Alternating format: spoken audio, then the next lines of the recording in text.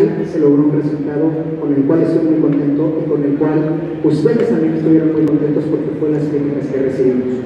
Que no estar en silencio aquel tiempo tan feliz y que llegamos a esa flecha en velocidad desde el punto 5. El precio por romper el sello será elevado.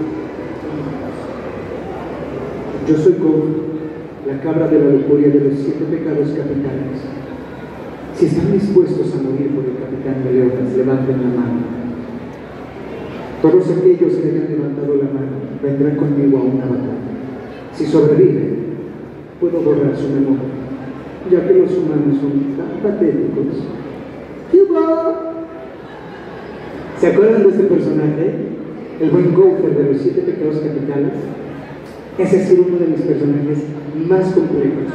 Pero luego llegó un personaje que me hizo una de las personas más felices porque toda la vida esperé participar en esta franquicia.